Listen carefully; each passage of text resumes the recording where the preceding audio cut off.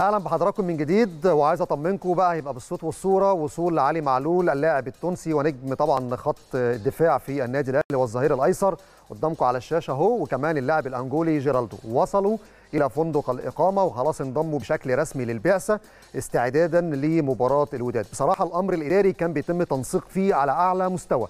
بدءا من الكابتن محمود الخطيب رئيس مجلس الإدارة النادي الأهلي ورئيس البعثة وأيضا كمان الجهاز الإداري من أجل طبعا ضمان وصول علي معلول وجيرالدو في ظل الأجواء والمتعلقة بموضوع غلق المجال الجوي وبعض رحلات الطيران خلال الفترة الأخيرة. الحمد لله تم تنسيق واللاعيبه حاليا دلوقتي في المعسكر وانضموا للفريق. وهيتم بقى بعض الإجراءات أو عدد من الإجراءات الاحترازية لانضمام اللاعبين بالنسبة للمرحلة اللي جاية سواء الإجراءات الاحترازية مسحة كورونا وخوضهم التدريبات وجاهزيتهم كمان والاستشفاء قبل مباراة الوداد المغربي. خلاص الوقت ضيق 72 ساعة ويمكن النادي الأهلي تحديدا كان أمر مختلف لأن لعيبة الوداد ولاعيبه الرجاء اللي كانوا بيلعبوا في منتخب الكونغو لعبوا قدام المغرب في المغرب.